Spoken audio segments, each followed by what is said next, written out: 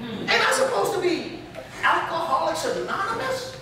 So why am I walking around with keychain and everybody know I'm in the 12-step program? Let everybody know I'm an addict. I'm supposed to be anonymous. But Jesus said, proclaim who I am. I'm saved. So I begin to go in these places and say, my name is Warren Rudd and I'm saved. Ooh. Brother, you can't say that. Yes, I can. You in denial. No, you are. I'm born again. Because the first thing I call me is what I'm going to be. Out of the abundance of the mouth, the heart speaks. Life and death is in the power of your tongue. So if I want to live, I'm going to call myself, despite my condition, what I want to be. I don't care if I got high last night, I'm saved. I don't care if I lay with 50,000 women, I'm still a saint. Because the blood of Christ is going to cover me. Because I keep on saying, God, forgive me. Help me in my flesh. Amen. Preach. That's why I said I ain't got no clean time. My only clean time is with Jesus. Amen. I hope you're feeling me. Amen. So start changing your thinking. You ain't an alcoholic if you ain't Christ. You ain't a whore if you ain't Christ. You ain't gay if you ain't Christ. You ain't a drug addict if you ain't Christ. But if you are, then you are. Amen. Woo, y'all get me fired up. Go to Luke chapter 11. Luke. Go to Luke chapter 11. Hope y'all bear with me. Was out some, some of my time a little bit. But that's right. We're going to get through it. Luke 11. This is one of the greatest examples of a story of a man who is bound by demons. Amen? Here we go. Ready? Luke 11, start at verse 24.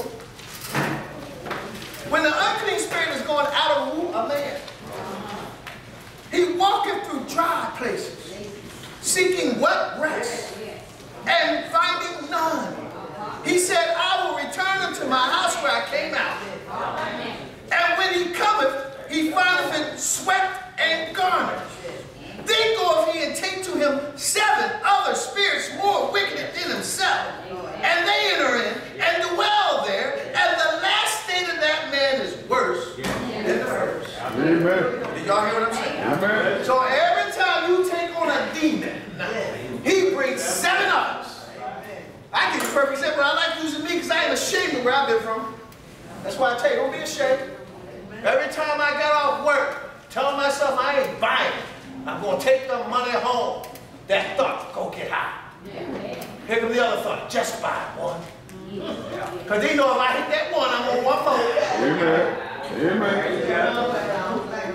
I go buy the one, but I wound up buying that one that was a hundred. So it wasn't no five dollar bag, it was a hundred dollars worth. And I called it one. Then I go hide the money under. Go out the house, go to the crack house. A other demons. And we fire that demon up. Bow! Next thing I know, I run out when I'm going home. Now the stealing demon came in me. Now I'm going home stealing my own money. Then I steal that, go home, go back to the crack house. Now, I want to get this. I'm going to be raw, kids. Close your ears. I'm ready for a wax job now. Yeah, now the sex demon comes in. And she's playing me. She's playing me because she's still sticking it in my pipe, so I won't keep thinking about sex. As long as she keep you smoking, you ain't thinking. Now I'm lying. Now my money going, she ran with the last bit of money I had because I said go get some more and she took off and ain't coming back. Amen. Now I got to go home empty, swept, and garnished. Walk in the house, ain't got no bill money, can't feed my child. Ready to steal the steaks and pampers and take them to the store and sell them so I can still get high. Now I got to lie. You demon number three. But see what you got to understand. Every demon that comes in you Every demon that comes in you brings seven up. And they bring seven up. And they bring seven up. And they leave you empty, swept, and garnished. Amen? Amen. But what we need to understand, what does it really take, and I preached this here before, what does it really take to be delivered from your situation? Yeah. But Jesus says something called a what? A Holy Ghost. They call him advocate. They call him the helper. But the one I like, they call him is the comforter. So the main problem I found out was I wasn't comforted. And I said, God, why not deliver?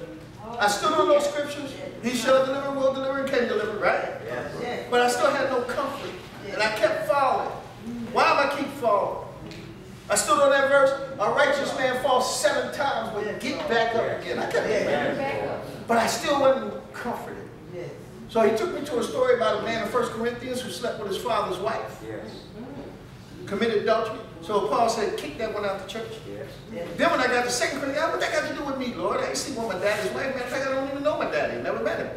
In that sense, you know what I mean? And so I read it in 2 Corinthians. Go to 2 Corinthians for me, chapter 7. Because what does it really take to be delivered and have rest? There must be comfort before a person can be delivered and have rest. And the saints of God should be the ones who provide their comfort and rest when brothers or sisters are distressed. Did y'all hear me? Amen.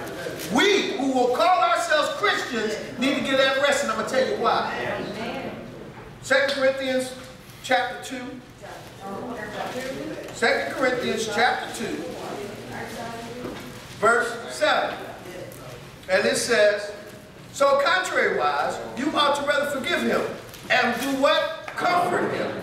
Lest perhaps such a one should be swallowed up with so much what? Sorrow. So there you go. So I said, who are you talking about? But I had to go to the background books and find out that Paul was saying, bring that guy back who was in 1 Corinthians sleeping with his father's wife. But the church wouldn't let him back in. Because they kept recognizing him as alcoholic. They kept recognizing him as adulterer. They kept recognizing him as a crackhead. They kept recognizing him as a hoe. They kept recognizing him as a faggot, so they don't want him to come in. They wouldn't let you back in. There was no love. Love says love. Uh, uh, love covers a multitude of sin, don't it? Why are we covering people's mess? In order to help them. Don't compromise with them. Tell them what it is, but still love them. Amen. God. Amen. But anyway, I found out it was this guy. They wouldn't let him back in. He repented. He stopped doing the sin.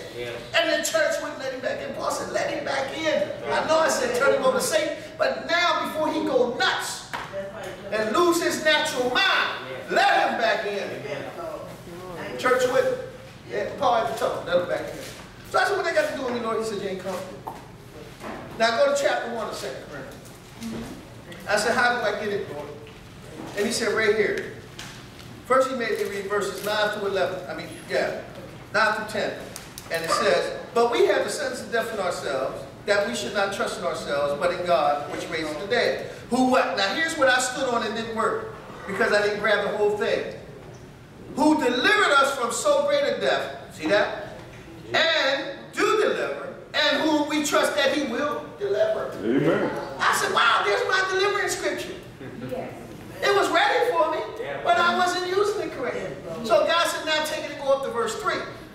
I went up to verse 3, chapter 1 of 2 Corinthians chapter 1, verse 3. Blessed be to God, even the Father of our Lord Jesus Christ, the Father of mercies, and the God of what? All comfort. Here you go. Watch how many times you spell comfort in here. If you're writing in your own Bible, underline every time you see the word comfort or consolation.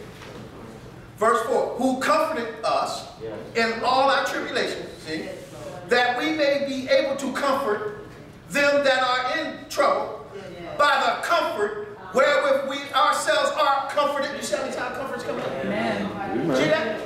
See that? Amen. For as, verse 5, for as the suffering of Christ abound in us, so our consolation, another word for comfort, also abound by Christ. And whether we be afflicted, it is for your comfort or consolation and salvation, which is effectual in the enduring of the same sufferings which we also suffer, or whether we be what? Comforted in, it is for your consolation and salvation. And our hope of you is steadfast, knowing that as you are partakers of the suffering, so shall you be also of the consolation. Amen. For we would not, brethren, have you be ignorant of our trouble which came to us out of Asia, that we were pressed out of measure, above strength, in so much that we despaired in the life. Paul said we were ready to kill ourselves. You thought you were the only one who get depressed? Here's Paul admitting, I'm ready to kill myself. We were ready to kill ourselves. But look at the comfort. That's when verse 9 and 10 comes in. Who shall deliver? But if you ain't got no comfort, you ain't got no deliverance. Why? Because Jesus said, when I leave here, I will send you another comforter. Now think of the word another. So that means while he was here, he was the comforter for the whole world. So he said, when I leave, I'm going to send you another comforter. But when that comforter comes, who's he going to go into? Believers. To the believers. You know why? Because you accept Jesus Christ as Lord and Savior, and immediately the Holy Ghost moves in. Hallelujah. So that told me, if the comforter is living in me, I need to comfort someone else in order for them to get delivered. Are y'all not with me?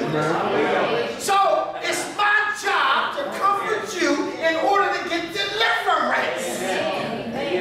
Long as I'm giving comfort, I'll get comfort. Amen. It's a sowing and reaping process. Thank you, Lord. Hallelujah. Y'all get anything out of that? Oh, yeah. Oh, All right. Let's go to Nehemiah chapter 4. I know we can make it there. I just hope you get blessed by this.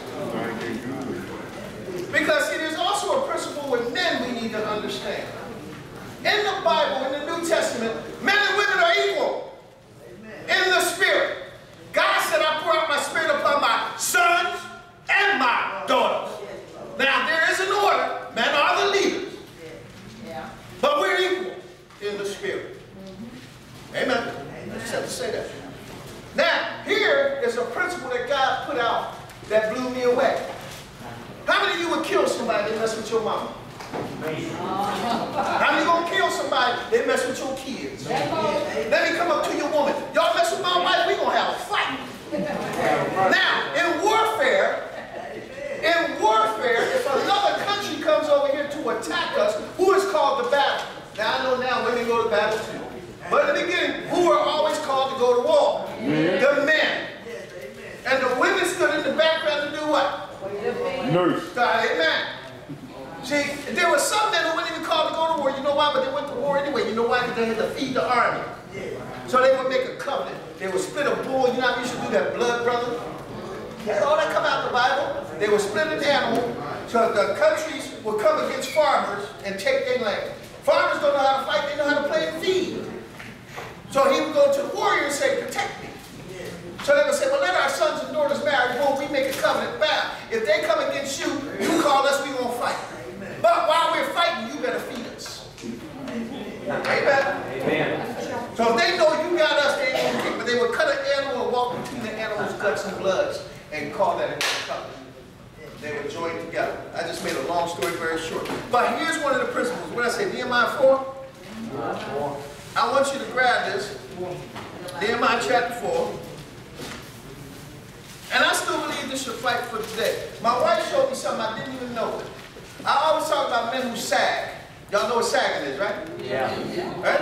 Yeah. And I tell I always tell people where that comes from, prison. You know, if men were saying they were available. I want you to write down sagging.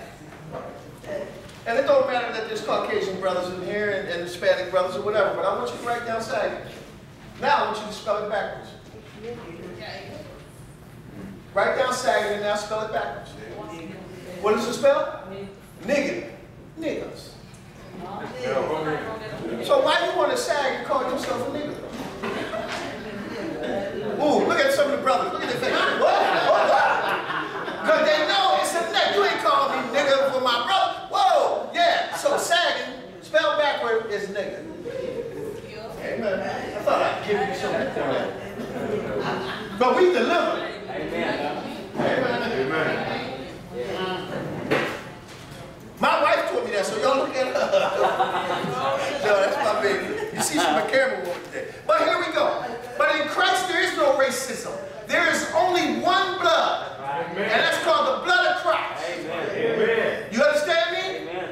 If you're my brother in Christ, you are more important to me than my unsaved family. Because we are made up of the same DNA. Jesus Christ. Don't mean I don't love my family, but you're closer to me than my family by being in Christ Jesus. Amen. I don't care what color, nationality you are. Amen. Matter of fact, the brothers used to hate me. When I first started teaching the Word of God, I didn't have nothing in my Bible classes but Hispanic and Caucasian. My own brothers were jealous of me, didn't like me. Amen. And I was like amazed. Why y'all hate me? But today, don't matter what color Don't matter. or Amen. anything. Amen. Thank you, Lord. Nehemiah 4, and look at verse 14.